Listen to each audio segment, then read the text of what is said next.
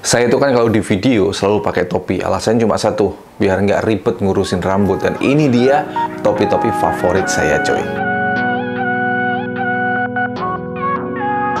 Halo teman-teman semuanya, baik lagi dengan saya Rifat Isman. Di video kali ini saya mau share nih ya beberapa topi-topi yang saya punya dan ini adalah favorit saya.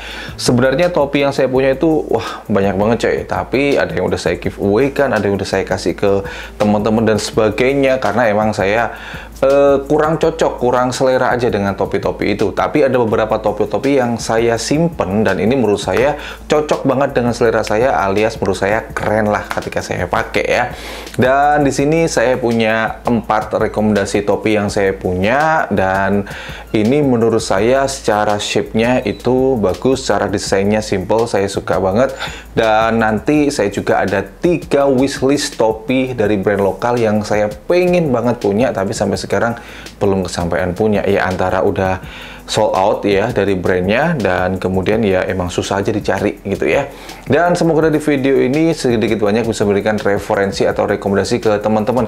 Kali aja teman-teman adalah tipikal orang yang sama kayak saya. Ke mana-mana selalu pakai topi alasannya cuma satu biar nggak ribet ngurusin rambut ya. Topi kesayangan saya yang pertama adalah ini nih. Nah ini adalah topi dari maternal. Nama apa namanya ya? Nama artikelnya atau nama produk nama barangnya ini jujur saya lupa coy ya saya suka sukanya dari topi ini ya udah simple gitu ya, cuma ada logonya maternal di sini. Yang saya suka adalah ini kan logo maternalnya bukan logo maternal yang kayak disalip itu ya, ini huruf M gitu, nggak terlalu gede juga, nggak terlalu kecil. Nah, saya suka seperti ini nih. Ini untuk bahannya sendiri ini menggunakan bahan katun ya, dan untuk detail-detailnya ya simple banget seperti ini. Dan ini saya punya udah lama banget coy. Kemudian yang kedua kesayangan saya adalah topi saya sendiri. Ini adalah kolaborasi antara saya dengan Most of Culture. Jadi Most of Culture itu adalah sebuah brand dari Bojonegoro ya. Waktu itu saya merilis beberapa koleksi aparel, ada t-shirt dan kemudian ada topi. Topinya sendiri itu sebenarnya yang pertama kali rilis adalah versi yang five panel. Nah, ini juga saya masih nyimpen. Ya, dulu ketika saya badan belum segemuk ini ya, belum segede ini pakai five panel masih cocok banget coy ya.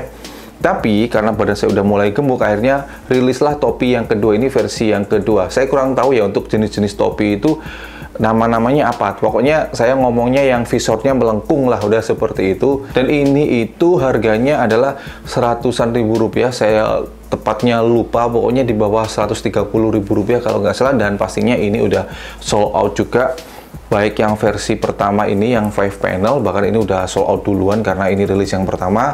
Kemudian yang ini sempat rilis dua kali dan udah sold out juga. Topi favorit saya yang ketiga yaitu adalah topi ini coy. Ini adalah topi kolaborasi antara Super Ego dengan Never to Levis tapi faktanya topi ini sekalipun ini adalah topi favorit saya karena jujur saya suka warnanya gitu ya hijau kemudian di bagian depannya ini kayak krem-krem gitu Faktanya, saya kurang begitu cocok pakai topi ini, ya karena ya shape-nya kurang bagus dengan raut muka dan apa ya bentukan kepala saya. Coba deh testing. Tuh, kayak gimana ya? Kayak nggak. Kalau saya sih melihatnya ya merasakannya gitu kayak kurang nyaman gitu ya. Karena ini adalah topi pertama saya yang saya beli dengan harga yang cukup tinggi untuk sebuah topi ya. Ini harganya adalah 200 ribu rupiah tepatnya berapa saya lupa ya. Karena menurut saya sebuah topi di angka 150 ribu rupiah lah ya itu udah mahal banget. Tapi saya memberanikan diri beli ini karena ketika melihat koleksi dari kolaborasi ini ya antara Never to Levis dengan Super Ego itu mulai dari jaketnya keren, celananya keren, kemudian yang custom New Balance-nya itu juga keren gitu dan artikel-artikelnya keren-keren semuanya. Tapi ketika saya pakai ini kok gimana gitu ya, nggak sesuai dengan ekspektasi gitu ya. Tapi kesayangan saya yang keempat adalah ini yang saya pakai ini coy dah ini udah kesayangan the best nomor 2 ini adalah kolaborasi antara uh, Rautek Riot dengan Van Dutch ya. Sebenarnya ya ketika saya mau beli topi ini dulu itu wah mikir sampai 100 kali coy. Karena harganya lumayan ya. Pokoknya menurut saya mahal lah tapi saya beranikan diri untuk beli topi ini. Plus ini belinya nggak bisa langsung kita beli. Ini adalah pre-order dulu karena di bagian detail-detailnya ini bener-bener keren banget ya.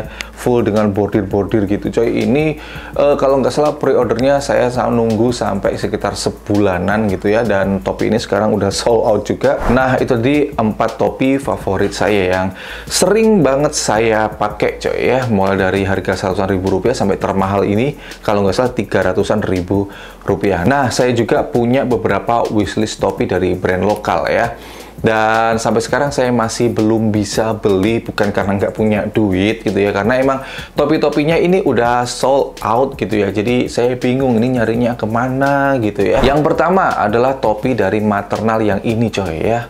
Namanya saya kurang tahu lah saya munculkan di sini aja.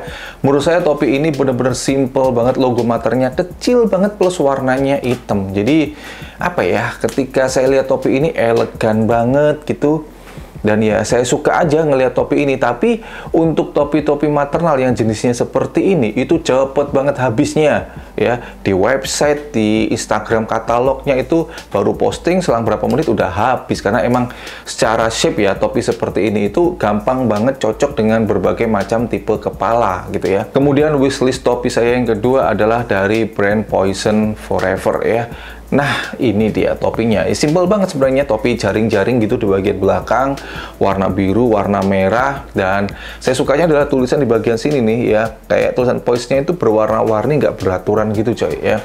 Dan saya juga adalah tipikal orang yang demen banget dengan topi seperti ini, karena uh, topi seperti ini ya, itu cocok dengan tipe kepala saya, karena apa ya di bagian sininya itu nggak terlalu yang ambles. Dan ini menurut saya topinya secara warna ya itu unik banget.